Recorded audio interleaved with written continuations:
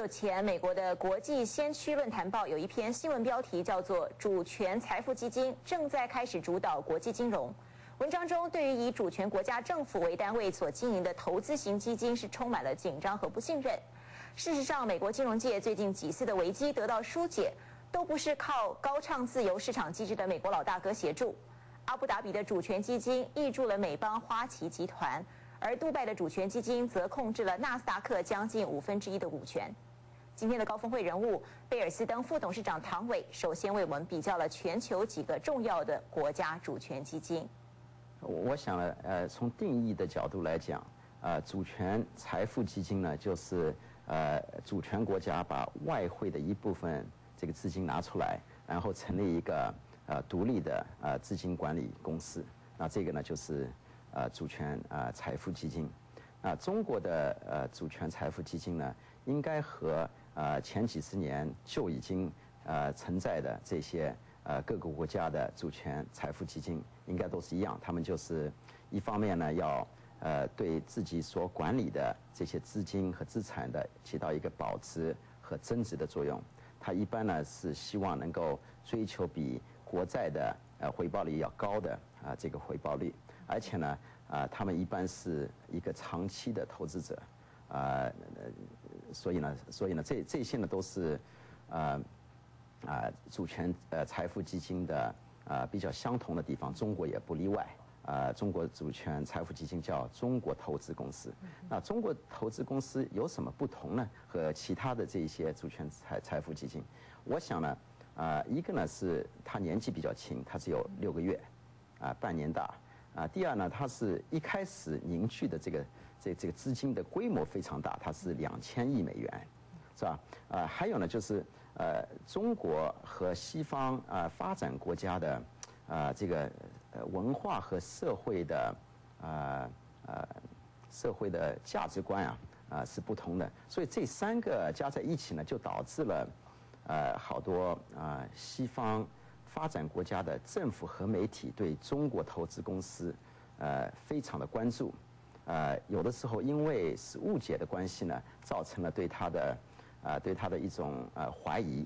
呃怀，那这种怀疑的态度呢，导致了，呃，好多啊，就是保护主义者的的抬头，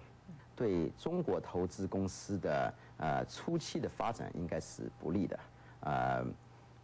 我想呢，呃，对长期来讲呢，对我们美国的经济啊和世界的经济啊和金融市场也是会造成不利的影响。那像这个中国的外汇存底每天是以让十亿美元的这个速度在增长当中。那世界银行事实上也有一些专家希望能够说专门就中国的主权基金加以规范。那您觉得这是一个合理的怀疑呢，还是一个不公平的举措？那么中国主权基金受了这样的另眼看待之后，那它未来的走向会不会受到影响？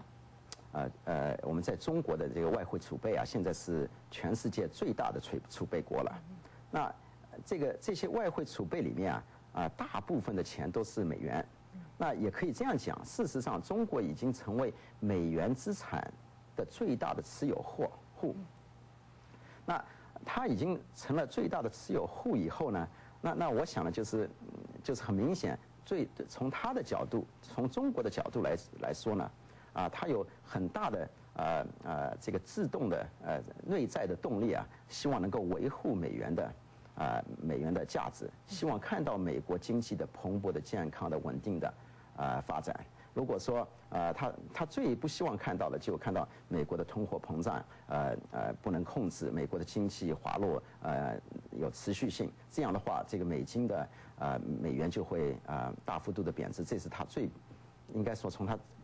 自己的角度来讲，是最不愿意看到的东西。那就是说，像您常常在这个中国还有美国这两地呃奔波，在呃进行这方面的投资的这些经营管理，那您觉得说，以这个中国投资有限公司它的这个行销策略，或是它的市场经营策略，或是它在推动这个中国主权基金到世界各国的时候，它应该采取什么样子的一个态度，或是一个公关行销的方式，或是一个基本的定位，或是利用它财务透明化，还是其他各方面的方式，能够让它能够重新的被这个呃全世界的各国主权基金的这些呃。呃，经济学专家也好，呃，这个资产管理专家也好，或是这个财务金融专家，还有美国的政府、各国的政府能够所接受。哎，所有的呃这些大的主权财呃财富基金的呃样板呢，就是挪威的啊它的它的做法，它是非常透明的，